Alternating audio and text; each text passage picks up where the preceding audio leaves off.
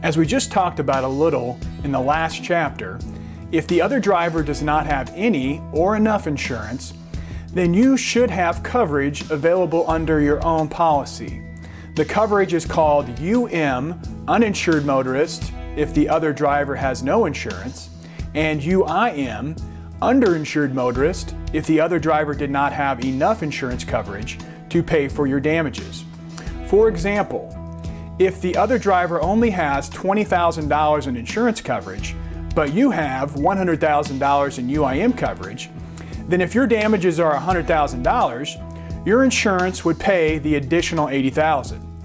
If your damages are $150,000, your total recovery would be limited to $120,000 because that is all the insurance coverage that is available.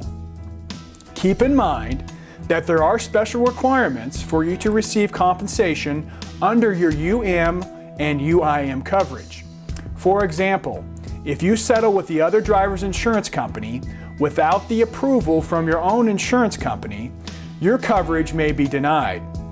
If your damages are more than the other driver's insurance coverage, it's a very good idea to consult with a qualified personal injury attorney as you could make a costly mistake and end up with no additional compensation despite paying for the insurance coverage.